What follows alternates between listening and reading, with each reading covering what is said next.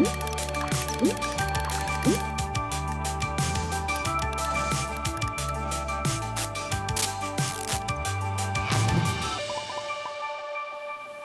Klaudia Szóstak, witam Państwa. Zapraszam na szczegóły prognozy pogody. Najbliższa noc przyniesie nam przeważnie dużo bezchmurnego i pogodnego nieba. Niewielkie zachmurzenie pojawi się jedynie na Pomorzu Zachodnim oraz na Dolnym Śląsku.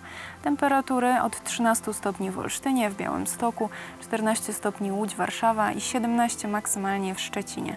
Ciśnienie nieznacznie wyższe, 1016 hektopaskali. Sprawdźmy jutrzejszą prognozę dla Europy. Jutrzejszy dzień przyniesie dużą dawkę słońca na południu Europy, na Bałkanach, a także na Półwyspie Iberyjskim.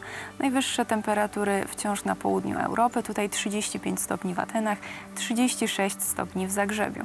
W pozostałych miastach 20 stopni w Bernie, 19 Paryż, 18 Londyn, od 22 do 25 stopni w Skandynawii. Przejdźmy do prognozy pogody dla Polski. Jutrzejszy dzień przyniesie nam zarówno dużą dawkę słońca i bezchmurne niebo, jak i bardzo wysokie temperatury. Na termometrach maksymalnie 31 stopni w Szczecinie, 30 Poznań, Wrocław, 29 w Łodzi i 27 stopni na Podlasiu i na Lubelszczyźnie. Opady deszczu oraz burze możliwe na południu Polski. Wiatr powieje w kierunku północnego zachodu. Sprawdźmy prognozę pogody na trzy kolejne dni. Środa pogodna jedynie w centrum, na południu oraz na północnym zachodzie popada.